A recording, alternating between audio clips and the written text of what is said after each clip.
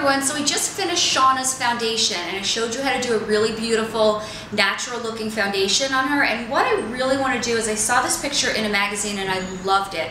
I love the 60s cat eye because they think it's always modern, it always looks good, uh, it's natural but it makes a statement and so what I'm going to do is go ahead and show you how to get that eye right now.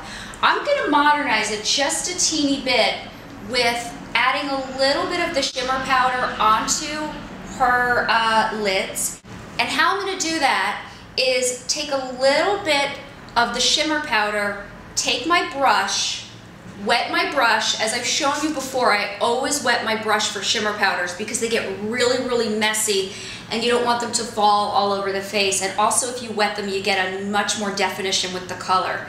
So I'm gonna take a little bit on here, with my powder puff, I always use a powder puff in my hand like this. It's just nice because when you start to rest, close your eyes, against the person's face, you're not getting uh, your greasy hands all over there and ruining the uh, foundation that you just spent all that time doing. So I'm going to concentrate just going back and forth with the color just on the lid for now. We'll do the other side.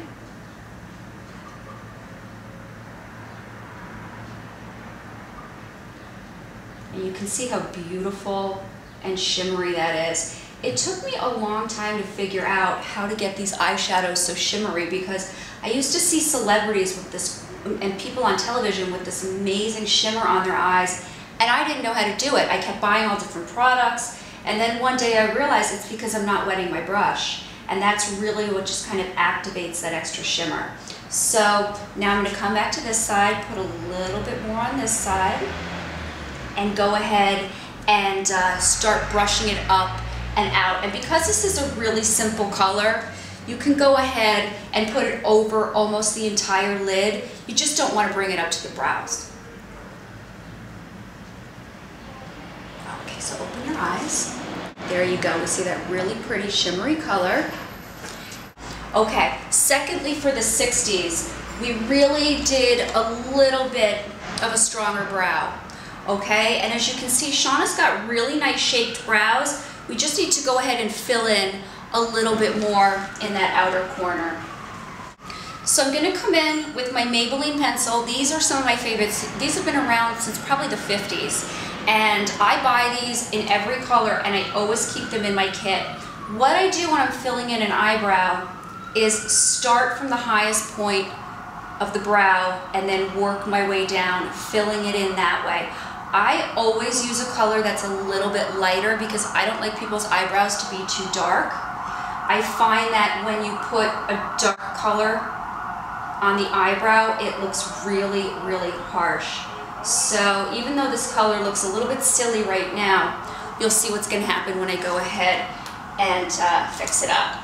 I'm going to take a brush that looks like this, and I'm going to take a color eyeshadow that's got a lot of gray in it. It's going to be like a taupey color. So something along these lines here.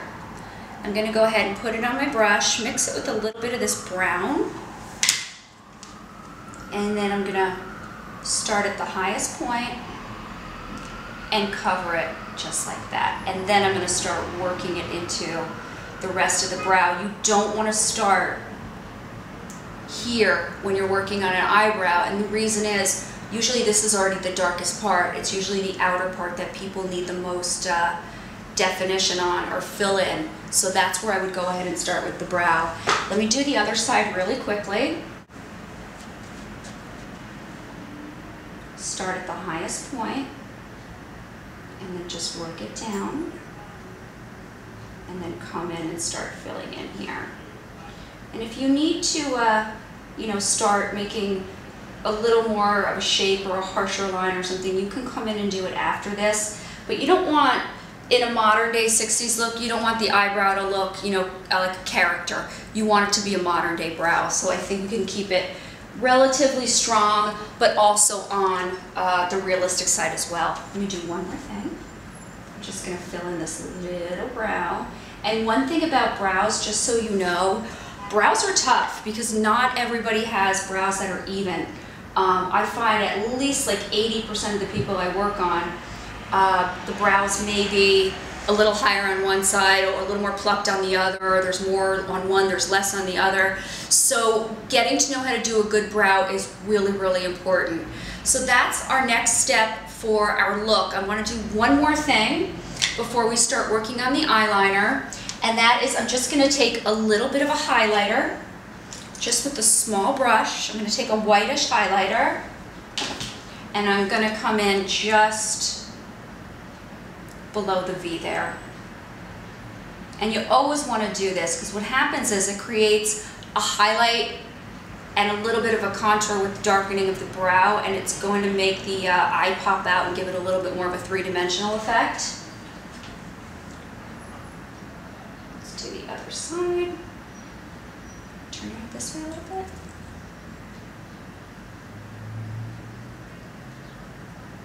Blend that in and open your eyes up. There you go. We've done the eyeshadow, we've done the brows, and we've done the highlighter. And next we'll move on to doing liner.